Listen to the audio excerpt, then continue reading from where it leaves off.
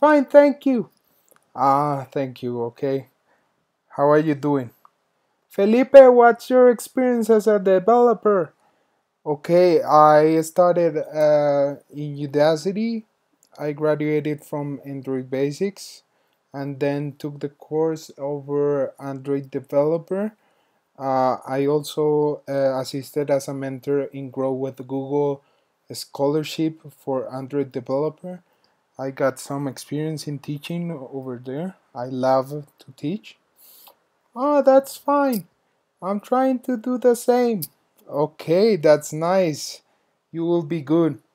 I understand that um, you have some problems with uh, widgets in your understanding for widgets and that you're in capstone at this moment. Is that right? Yes, that's right. Okay, okay. Uh, let me help you with that. Okay, uh, the first things first, uh, you can go ahead in Google and look for uh, widget Android developers documentation.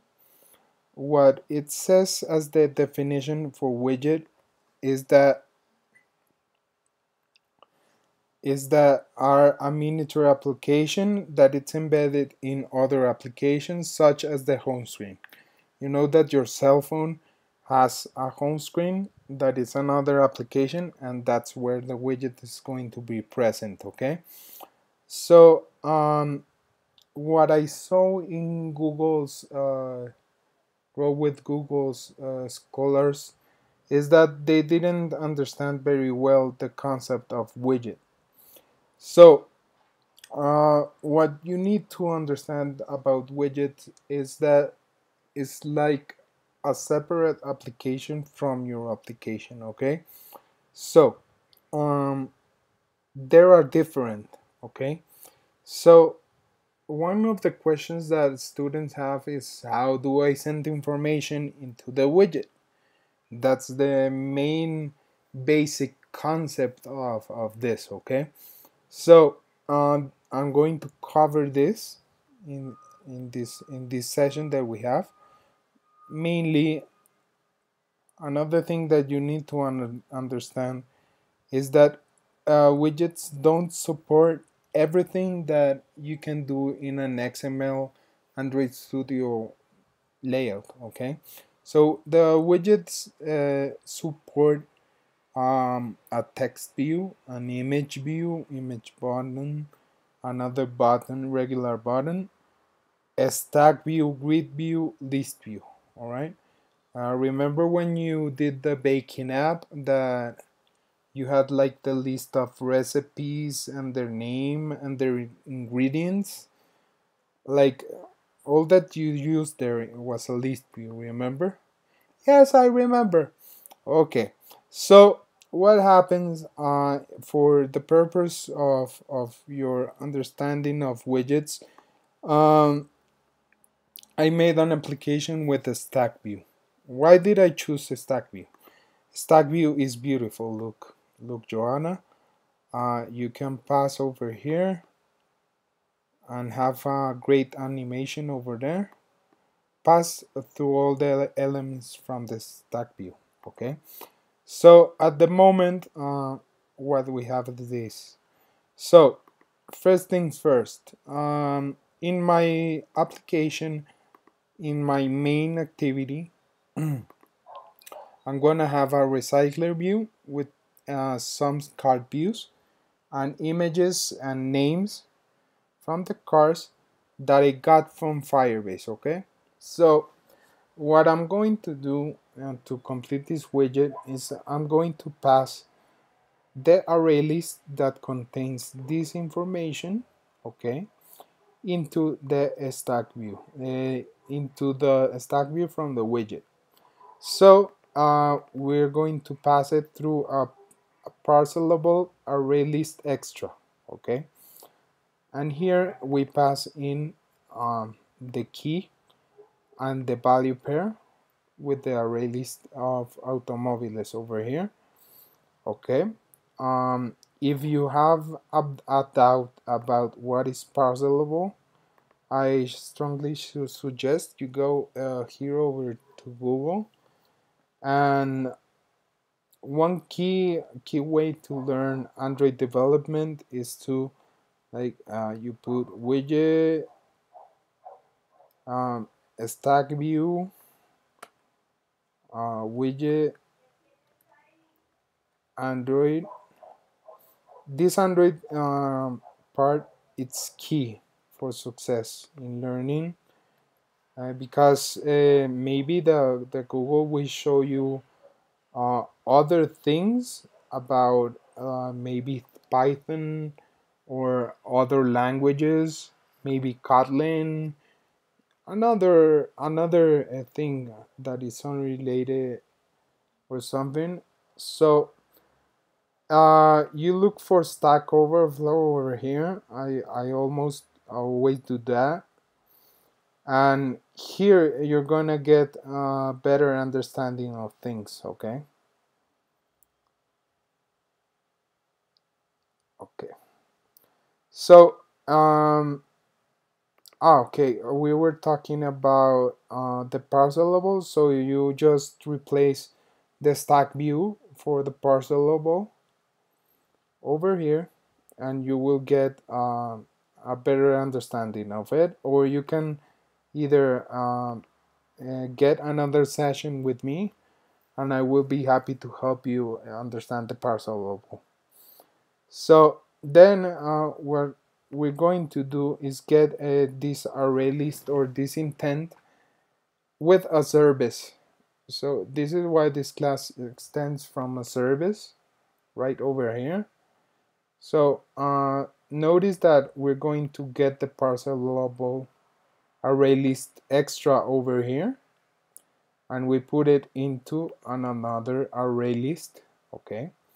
And here uh, we're going to pass it over to the stack widget service.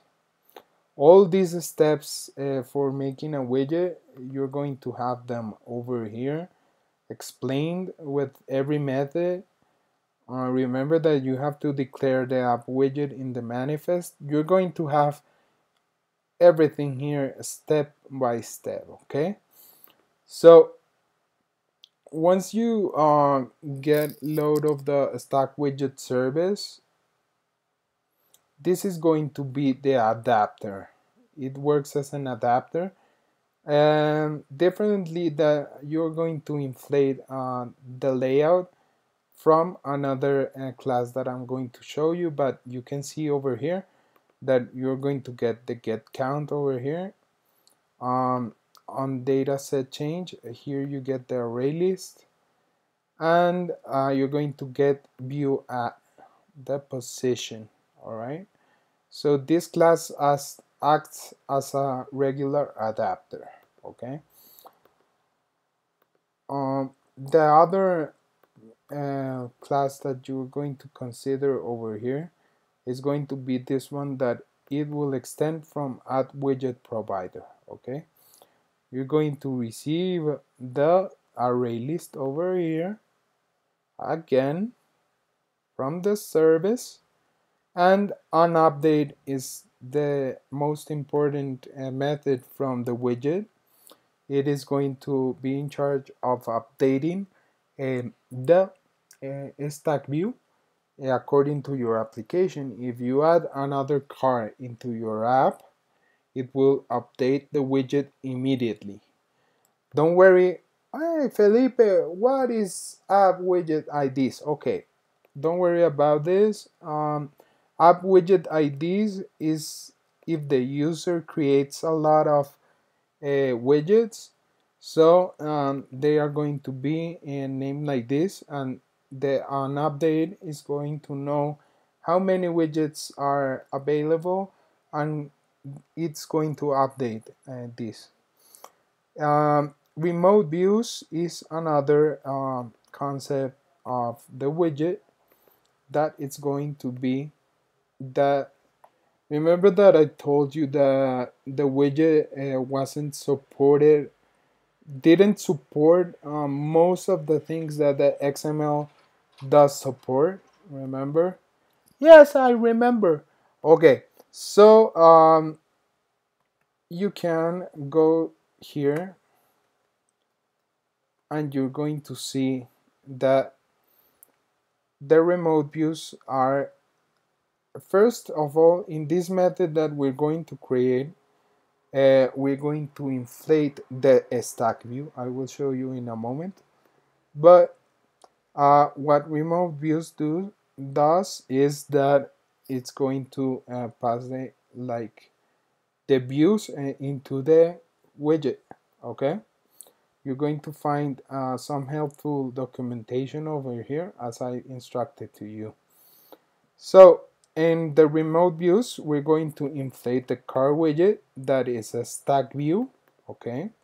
Remember that we uh, put recycler view into here and in, in our previous apps.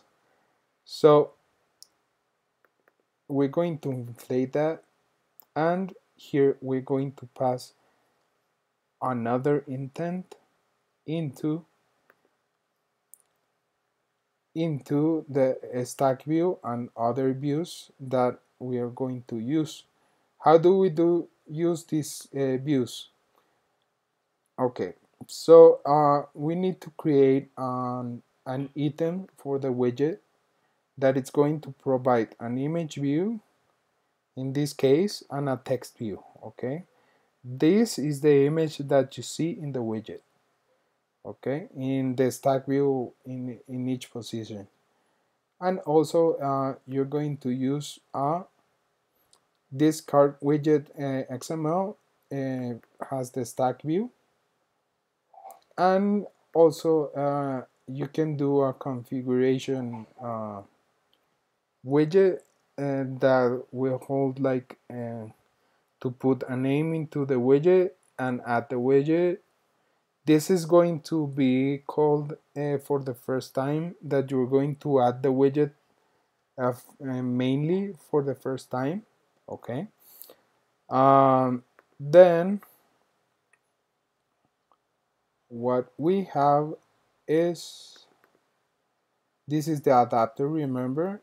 The list service and the car widget provider. That is going to be um, you see the the